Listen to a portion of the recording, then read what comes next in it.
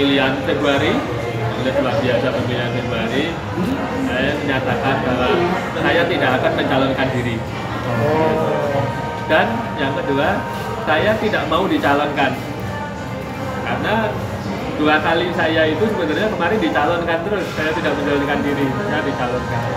Dan yang ketiga saya mohon maaf kepada teman-teman voter klub Liga 1, Liga 2, Asprof yang sudah mengirimkan surat dukungan saya untuk mencalonkan kembali. Saya mohon maaf karena saya ingin fokus pulang ke Semarang. Saya ingin besarin PSIS Semarang supaya lebih kuat, lebih hebat. Nah, itu. Bukan nggak ada nggak ada tendensi lain nggak ada uh, tujuan lain. Hanya saya ingin pulang ke Semarang untuk lebih fokus di Semarang.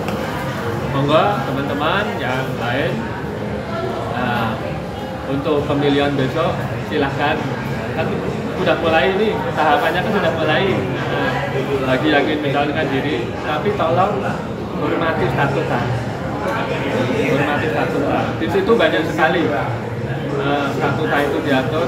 Syarat-syarat pencalonan. Ini bukan untuk menjegal atau bukan untuk menghalangi orang itu mengurus sepak bola tapi tolong dipahami bahwa football family keluarga sepak bola Indonesia itu ingin mengurus rumah tangganya sendiri.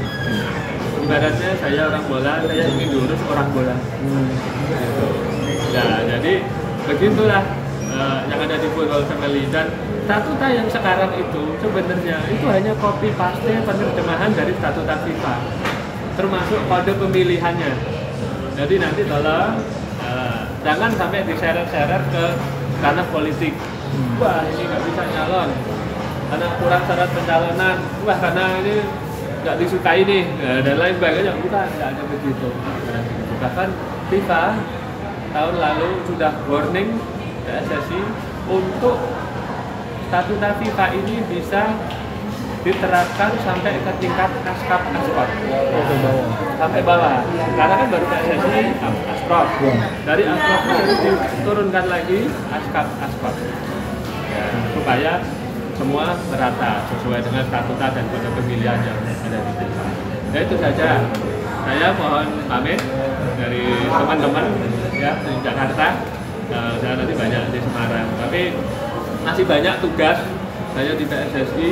Ya, saya akan selesaikan sebaik-baiknya. Yaitu tugas satu menggelar kompetisi, yang kedua menggelar kongres Januari, kongres tahunan dan juga kongres luar biasa Februari.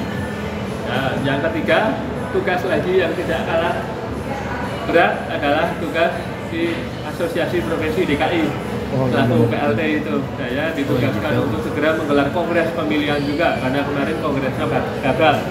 Jadi mohon restu. Nanti setelah tugas itu selesai, saya akan fokus di Kota Semarang. Terima kasih sudah nonton. Jangan lupa like, subscribe, dan share ya.